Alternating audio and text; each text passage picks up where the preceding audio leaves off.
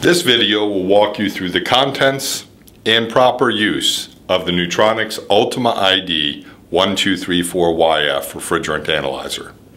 The device comes in a hard shell carrying case. Within the hard shell carrying case, the user will find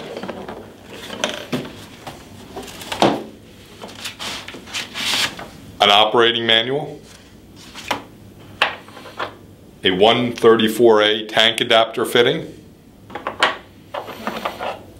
a power supply for both charging the battery and powering the device, the base unit itself, and an accessory package including couplers for both 1234YF and 134A, a power cord, a tank adapter for 1234YF cylinders, and a USB cord. To operate the Ultima ID 1234YF refrigerant analyzer, select the appropriate coupler from the accessory bag. In this case, we'll be using a 134A coupler. The coupler comes attached to a hose. The hose has a user replaceable flow restrictor, which aids in the prevention of oil integration into the refrigerant analyzer. It's a disposable consumable part. Press the power button to power on the refrigerant analyzer. Press the OK button and the device will begin warming up. Once warm up is complete, we're going to select the refrigerant we wish to test. In this case, we'll select the 134A button. The device is now ready to calibrate. Connect the hose to the back of the device.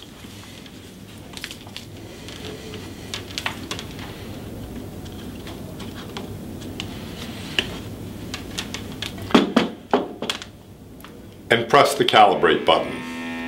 Calibration will take approximately 30 seconds. Once calibration is complete, select the 134A tank adapter because in this case we're going to be testing a refrigerant tank. Connect the tank adapter to the refrigerant tank. Connect the coupler to the tank adapter.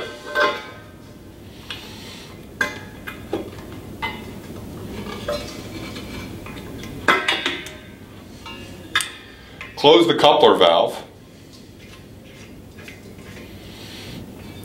and we'll turn on the tank.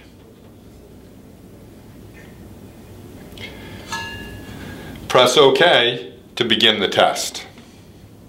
The test will take approximately 60 seconds. If this were a vehicle, we would be connecting to the low side service port of the 134A system on the vehicle and the process would be identical to what is being shown here.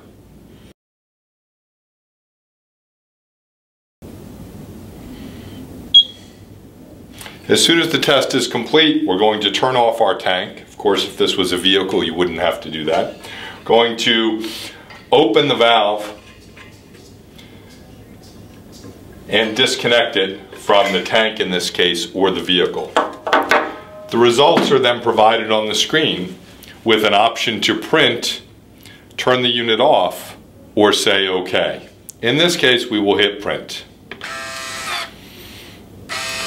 The test results are then printed on the printer for a permanent record. If you would like an additional set of test results, you can simply hit the print button again.